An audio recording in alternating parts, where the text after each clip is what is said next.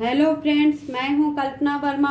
हँसी हँसी खेल खेल चैनल की तरफ़ से आप सभी लोगों को हैप्पी रिपब्लिक डे भारत माता की जय जय हिंद।